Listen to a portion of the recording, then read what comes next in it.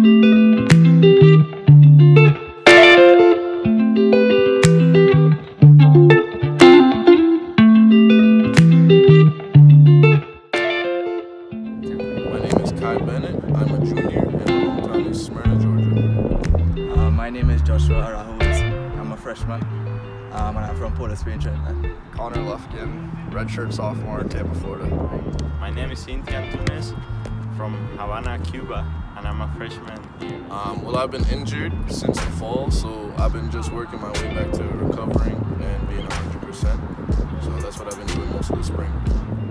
It's been tough, we've been working hard, but uh, it's looking like a promising uh, rest of spring. Um, it's been quite fine. I think I've been slowly um, developing my fitness as well as my technical ability. Oh, it's been great. It's been, um, I feel like we've been improving since we got here in January.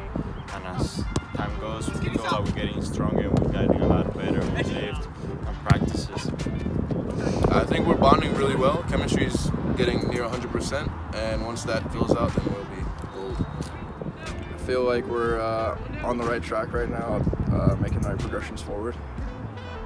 Um, the team is doing pretty well. I think we still have a good way to go still, but I think the boys are showing a good attitude in training, and I think by the fall we'll be set to be um, a first American.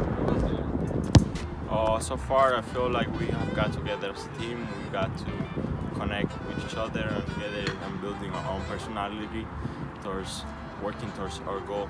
Um, just to get back to being 100% fit and being able play. Um, I think we need to just focus on our style of play, uh, focus on keeping the ball and being more threatening towards goals to win games in the fall. Personal goals would be to uh, secure a starting spot, uh, continue to grow as a leader within the team, and uh, make sure the team continues to excel.